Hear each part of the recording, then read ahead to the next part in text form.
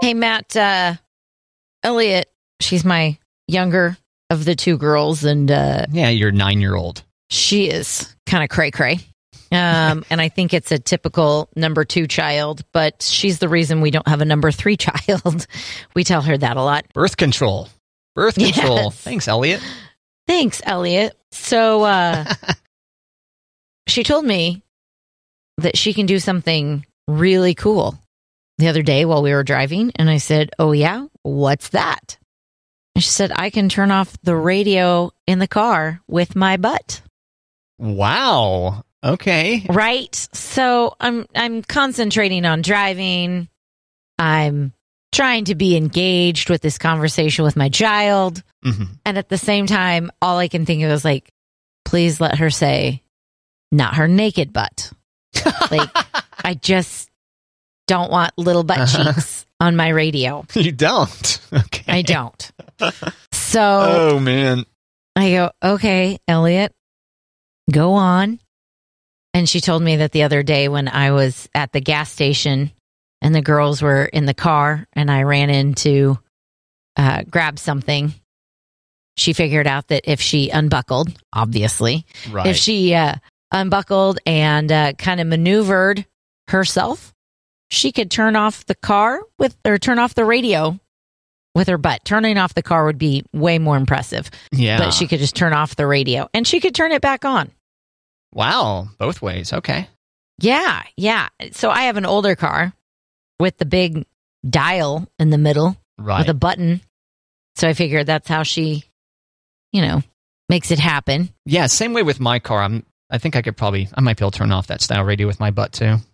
Haven't tried though. I mean, what goes through her brain that says, wonder if I can turn off the radio with my butt? So it was actually like an intentional thing. I thought maybe she Oh, like, yeah. got out No. of her seatbelt and was like trying to get something from like the back seat or something. Like turned around, like, oh look at that. Ah, No. how convenient. She was actually like, I wonder if I can hit that power No. button with my with my buttock. Yep. Turns out she can. Turns out she can. She clarified that yes, she had her pants on. And Yeah. she said, Why would I have my pants off in the car? And I said, I don't know. But I'm just making sure it wasn't butt cheeks on the Right. dial. Because I know you, Elliot, and I know that there was a chance. Exactly. Exactly. So uh new new talent for Elliot. Isn't that great? You must be very proud. Must be very proud of your nine year old. I mean, can you put that on your resume someday? Probably. I mean, if it if it was a touchscreen, it'd be pretty impressive, right? Yeah, But- yeah. It's d- difficult to. Well, I'm still a big fan of buttons and knobs. I want buttons and knobs, especially in my car. That way I can reach and feel without taking my eyes off the road. And then you see like a Tesla or something that's got a big old widescreen display in the front seat that you're supposed to supposed to hit. I like buttons. They're gratifying too. Click, click. You know, wicka, wicka. no, I'm with you, except for I just had to dig a button out of the console. And that was really annoying because you'd turn on the car and it would change the radio preset immediately because the button was stuck. oh So I watched a YouTube, figured out how to pop the button, wow. and now it's unstuck.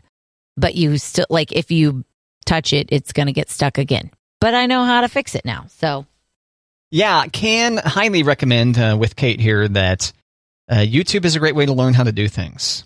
And it's Mhm. shocking, like how many people have, like, well, I guess, did you type in actually the make and model of your car, or what did you type into YouTube? Uh, I think, yeah, I think I put 2011 Chevy Traverse radio button Stuck. stuck. Yeah, so mm, I had to change the brake light in my car recently. Mhm. And uh, same thing. It's like 2011 Toyota Corolla brake light replacement. And then I scrolled through a couple and was like, let me find the shortest one. And then there it was. Oh, that's what I needed. Good old YouTube. There it was. I was at the library yesterday and we were going to the car with our handfuls of books and we're kind of stumbling to get the car, but I, I was able to unlock the car, you know, with the with the fob. Right. Your, your hands are kind of occupied. Your arms are occupied. So you had to maneuver to get the keys into your hand. Yes. Okay. To unlock it. So Right. this woman passing us was like, How do you like your car? And I looked at her funny and she's like, Isn't that your BMW? I'm like, No, my, mine is not the BMW. She goes, Oh, yours is the old one. I'm like, Yes, Womp womp. mine is the old one. Thanks, lady.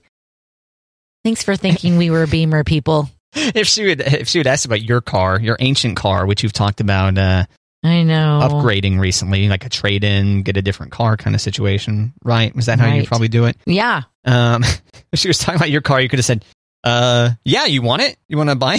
You want to buy this?" Runs like a dream. Yeah. Her name's Black Beauty. And uh, Black Beauty. Black Beauty, the newest want want on Black Beauty is the rear windshield wiper. Doesn't work.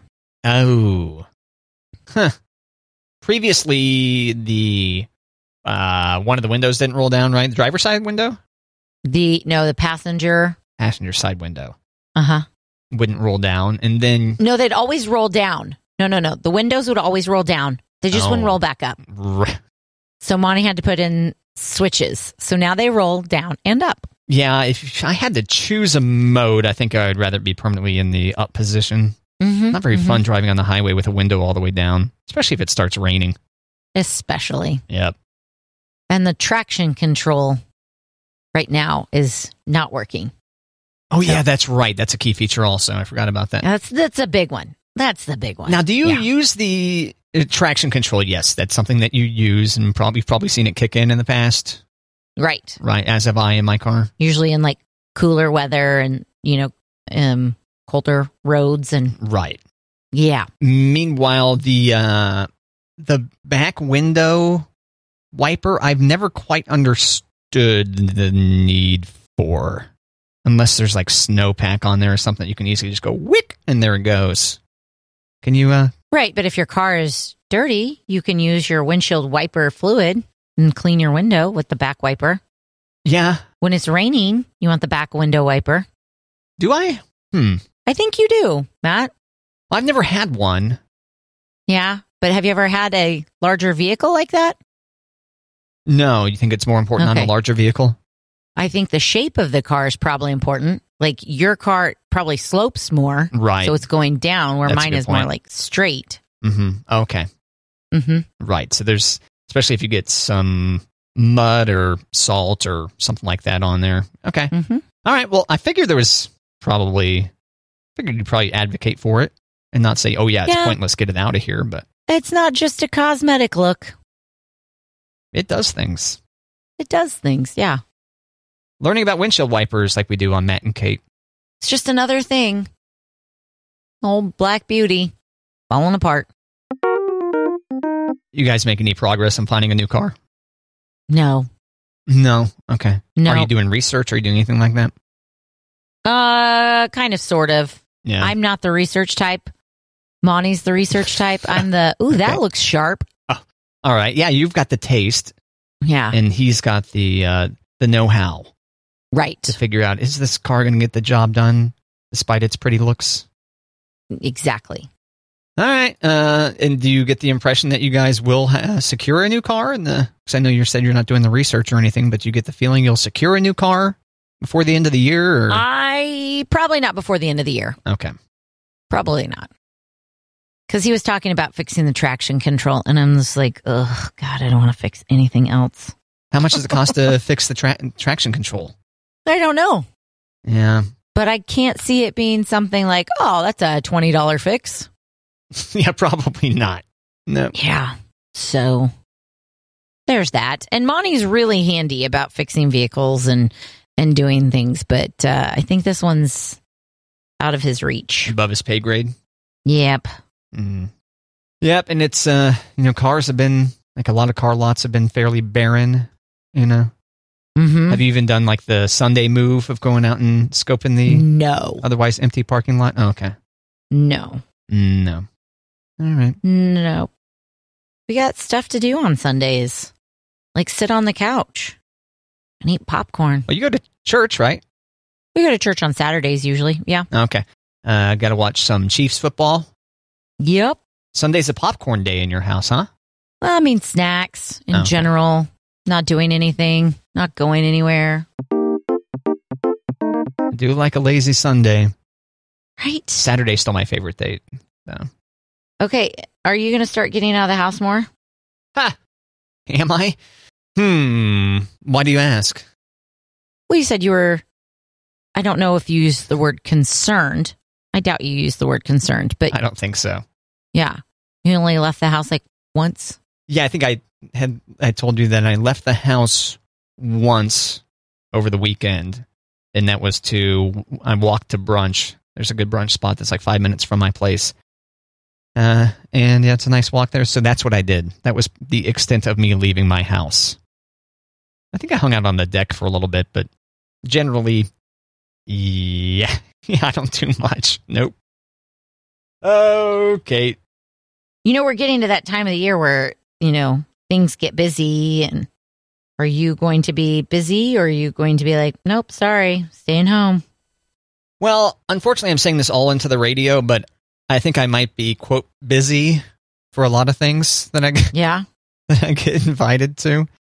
Uh, but I think the biggest thing that lends to my lack of well, life isn't the word, but lack of doing things, lack of social activities. I'm just waiting on my friends' kids to turn 18 and get out of their houses. It seems like so much of people's lives, and you can probably attest to this, get utterly consumed by their children. True. Um, I, I will say, as a adult with children, Mm-hmm. I do appreciate my friends pulling me out of the house. So maybe they're waiting on you to invite them to something not related to their children. Oh, I try to do invites. I feel like I'm the the leader of. There's six six of us in this Slack group, Mhm, uh, basically mhm. best friends from high school, and I try. I, I float invites often. I'm trying to, but Okay. I guess do I need to pony up like an actual like a theme to the party or something? Like, hey, we're celebrating such and such. We're doing it on this date instead of being like, hey, we need to get another hang on the calendar. Yes, know? you have to you have to come out with the date. Saying we need to put something on the calendar is not enough. You have to say, "Hey, this Saturday or gosh, not this Saturday." Or yeah, we'll- say like November fifteenth, my place, yes. something like that. Mhm. Okay, yeah, I think that's really helpful because then people can be like, "Well, when you say we need to put something on the calendar, well, we've got this on this day and this on this day and this on this day and blah blah blah blah blah blah blah." They're like, "Oh, right. November 15th, we don't have anything. Put it on the calendar. good idea. We're coming." All right. Yeah, because I do think your friends with children would appreciate you pulling them out of their family and bringing them back to who they were before kids. Yeah, yeah. And we all kind of snap right back into that immature place, getting back Yeah. together with my high school friends. Yes. Which is healthy. Good tips, Kate. Anytime. Hey, Kate, do you have a record player? Do you have a vinyl player? Do you do that in your house? No. Okay. No. I have one. I used it hardly at all before I was like, this is like the most inefficient way to listen to music. I get it though. I understand, you know, it's, uh, I think a lot of people call it, and I think I've mentioned this phrase to you before on this show, like a tea ceremony. You know, it's like going through the steps of grabbing the record, taking it out of its uh, holder, whatever the hell that's called. Um, and then like the paper noise that you get, and then putting it on the deal, moving the needle, and setting it. I get it. I understand why so many people are into that. And then collecting vinyl, you know, it's like a nice way to get collector's items since people are buying I mean, fewer and fewer CDs each year. More people are buying vinyl. So, do you think people are doing records because of the movements versus the sound quality? Because our record's supposed to be like really good sound quality. That's what a lot of the enthusiasts in the uh, in that field, uh, vinyl collectors, whatever. A lot of them will tell you that, but in actuality, you're still like CD quality is still far better than what a record will do, and it doesn't wear like a record does. I just, I love music, Matt. Love music. I do too. It's part of the reasons why we work on a music radio station, probably But that's too much work. doing all that record stuff. Yes, too much work when you can just play it. a lot of these records come with like they're like we know we understand here is the mp3 like here is what you do to own the mp3 so you have a because it's a well first off it's harder and harder to actually rip a cd into your computer and uh, to do it on vinyl is especially trying. Like, how are you going to get that into your computer and then get get it onto your phone or whatever? Right. But basically, it still gives you the collector's item of the record. Okay. You know. Okay. Now, here's something interesting. So they've had a difficult time, just like with a lot of things, a lot of uh, a lot of manufacturing. Hmm They are having a very difficult time releasing the, and pretty much it doesn't happen, releasing the vinyl the same date that the digital slash CD comes out. Okay. And so a couple of times now, like both Taylor Swift and Olivia Rodrigo's uh, albums within the past year, hit number one pretty much immediately, right? Especially like you do Right. with Taylor Swift. And then a couple of months later, hit number one again because of the vinyl, because they released the vinyl and then collectors bought them up. Hmm. Pretty interesting little side effect of an album being number one for a long time, going away for a while, and then months later, here it comes, it's number one again. Here it is again. So, talking records and the appeal of vinyl, right? Which, once again, I get. You get a big album art that you can put up on a shelf or something too. Like, there's all kinds of different ways that you can do this. And then I saw this story from the Wire Cutter. Don't call it a comeback. Cassettes have sounded lousy for years and still do. And the story is about uh, the same thing is happening to cassettes as vinyl, where people are like, oh, this is cool. This is retro. This is old school. Let's buy cassettes. Oh no. Does that mean blank cassettes are coming back and mixtapes are coming back? Oh, wouldn't that be great? Yeah. However, what they say is they just can't produce, the, the demand is not there for them to be able to produce cassette decks like they used to. Let me ask you this. hmm Do you have a cassette player in your house with all of your techie gadgets?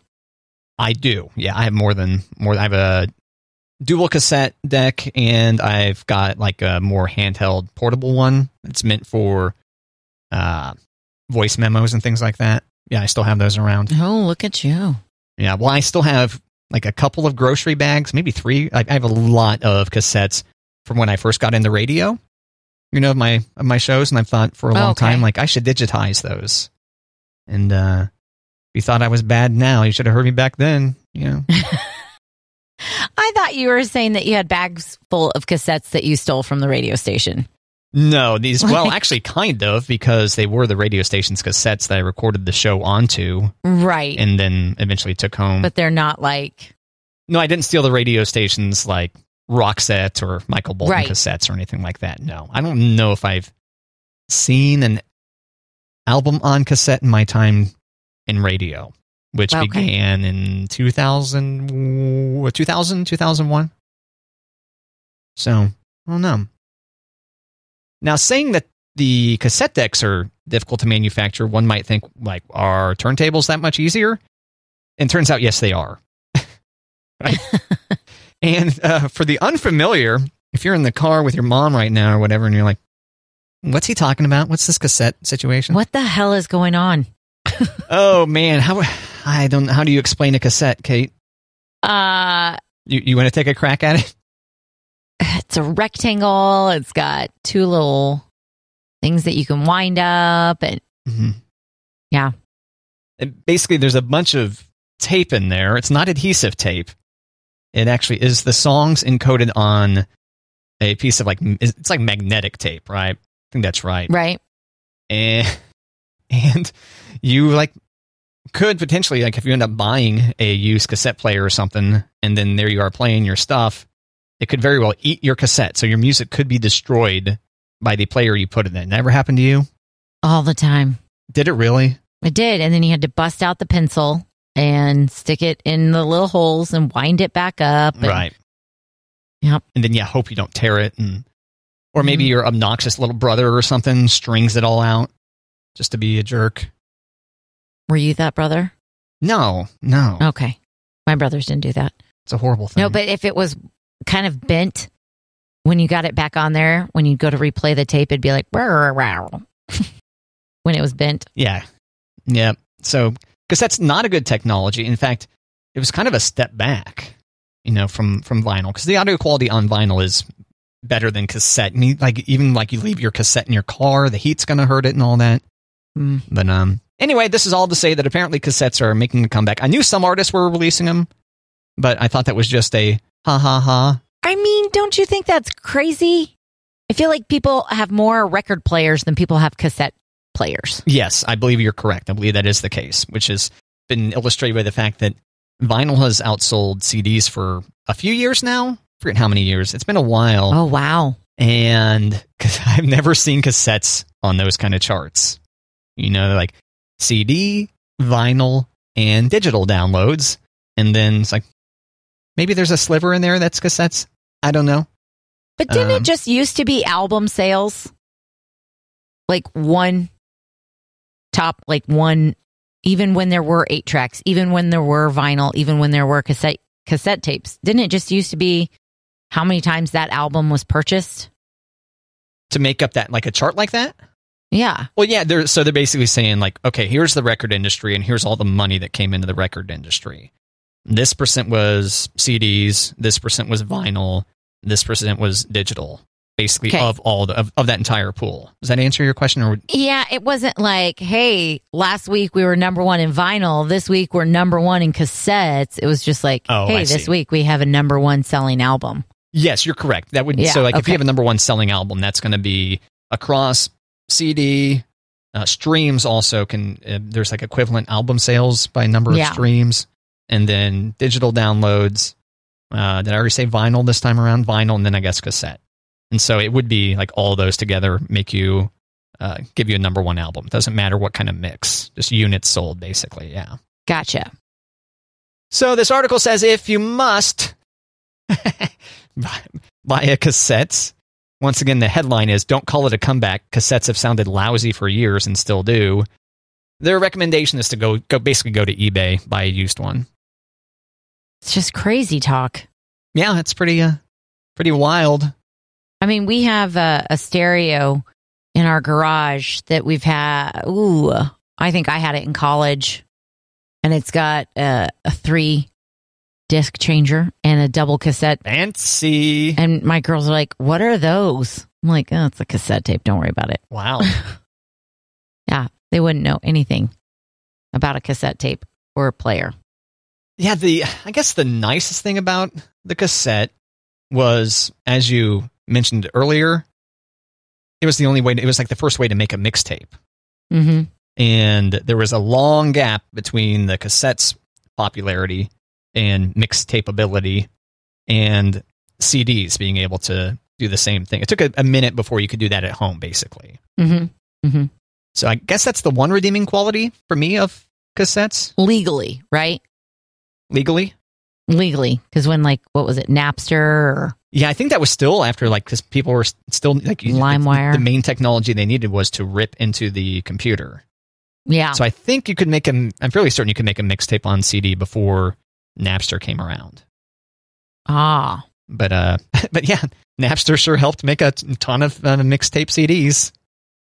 Mixtape CDs. good old mixtapes. Did you ever uh, record off of the radio? I did. Record music? Yeah. hmm Yeah, me too. I remember recording specifically "Every Rose Has Its Thorn" by Poison. Oh, that dorky. Oh. okay. Saturday nights there was a syndicated oldies show that I liked, Oh, okay. and I would record oldies off the radio. I dig that. That's cool. Yeah, and uh, my brother and I would write commercials. Wow. Did you consider a career in radio? Uh, I wanted to go in sports broadcasting. Oh yeah, that's right. Yeah. Forgot about that. Hey, once upon a time I thought it'd be cool to be like a play by play guy. Yeah. Yeah. Be kind of fun. I even got to shadow a morning show in eighth grade. And look at me now, Matt. Yep, hosting one. Ooh, ooh. Dreams do come true, Kate. I do. Yep. Not as many canvas bags of money with dollar bill signs on the outside of them, but uh, Absolutely not. good enough. Yeah. Good enough. We eat. Kate's children eat. I mean, I kind of thought there'd be more freebies at the radio station, but okay. oh yeah, really? I did. I just thought that everything they talked about on the air, like it was kind of, what do they call it? The payola or whatever. I, Oh, yeah. I thought that, yeah. You thought they were getting paid constantly for the the things they were Yeah. talking about. Yeah. As much as Matt and I talk about McDonald's, you'd think that we had Right. stock in McDonald's or that our kids get free McDonald's every day. Nope. Nope. mm-mm. they are an advertiser, but that's not necessarily why we talk about them. Just inevitably it comes up, like oh, egg McMuffin, you know. hmm So, but yeah, yeah, payola is when someone who works in radio or broadcasting is taking money for something, and it's not disclosed to you that they're taking money for that. That's illegal. And I guess the initial payola thing was, or plugola. That's plugola because you're plugging a product. Payola was you're taking money, like, hey, give me a thousand dollars cash, and I'll play your song, that kind of thing. Yeah. But um, I can say that I well, actually I can't speak for Kate, but uh, I've never accepted payola or plugola. Kate. Silence. I know you weren't going to speak for me. I didn't. I know. Okay. So I get paid, Matt. Kate's getting paid over here. Yeah, watch out. Oh, jeez. Just kidding. There was a just kidding in there, right? Kind of. Kind of. All right. Police, open up. Right. Oh, Kate just dove out the window. She's now Mout. running on the side of I twenty nine. Man, she really moves quick to get down there that quick. Tuck and roll. yeah, we do have a, a lovely hill. Or we have the perfect hill for sledding if if it didn't put you in front of a semi truck on I twenty nine. If, if right. if only if only. If only they shut down I 29 Well, sometimes it happens. On a snowy day. Typically due to like a deadly car accident. So we're not going to wish that to happen. But if it does, No. we really do need to invest in a radio station sled Yeah, maybe sledding then is not the appropriate time either. So, because you're not being respectful. right. Mm. Okay. So uh, we, we can't really recommend sledding, sleighing toward a highway. Public service announcement from Matt and Kate. Cannot recommend. I know that we were talking about sledding, but when you said sleighing, hmm I was not thinking of sleigh bells and sleighs. You were- Murdering, right? right. Yeah. I'm like, nope, we definitely didn't think we needed to say that either, Matt. But yep, we don't recommend sleighing. We're so close to Halloween. Ooh. Right. Hello. There. Can you do that voice only like uh not hello? Like can you have like a A conversation with Kate yes. using a ghoul voice. yeah. Probably. It's based on Emperor Palpatine from Star Wars, from the Star Wars films. You familiar? No. You're not familiar with the Emperor? No. Oh, okay. Does it hurt your throat? I wouldn't be able to sustain it for very long, I don't think. Okay. It sounds painful. Yeah. Now when you say hello, it doesn't, but when you're like Hello. having a conversation. Right. yeah, I don't know how long I'd be able to maintain this voice. Well done. Not very. Not very. long enough to voice a 30 second ad for a strip club that, There they, you that they rejected and that Kate ended up voicing instead, as previously discussed on Matt and Kate. Gosh, how many years ago was that? I think it was five years ago. You want me to search for it again? No. Okay. No. Is that place still open? The outskirts. I think so. Okay. The outskirts. I couldn't stop myself. I had our pro- I had V Creative, which is our production system, open. Um, it ran October 28th through the 31st of 2019. Oh gosh. It's a lot sooner than I remembered it. I know. I wish it was a lot older. So that you could justify you not remembering that you did this. Uh, Bring it- that and that and of course like accepting terrible production. right. For anyone who missed it, here you go. Hang on to your masks, boys, because Halloween is about to get hot. Join All right. That's all we really need. I mean, when they mean masks, they don't mean COVID masks. They mean your Halloween mask. So they could replay it this year. Uh, well, I'm not sure if they have the hot pepper eating contest again or not. Right. So, so. Right. yeah, yeah. Oh my gosh. Should have gone with the spooky voice.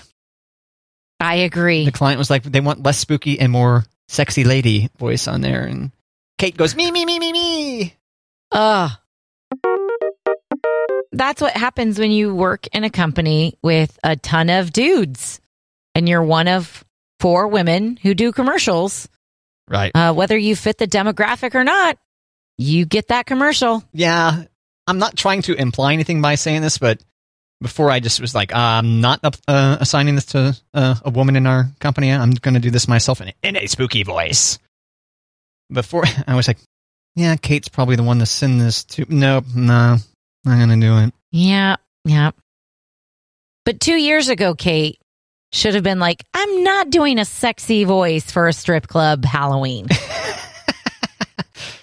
now, five years ago, Kate was like, I love doing commercials. Sure, I'll do it. Right. I'll go to the strip club with you with a boombox to play them the commercial, Wicka, wicka, wicka, wicka. said Kate. Yeah. Um, that was more like 10, 12 years ago, Kate. 10, 12 years ago, Kate would go to a Yeah. client and bring a boombox with her and play the client their commercial. Uh, strip club. If that's the client you're referring to, Oh, definitely pre children.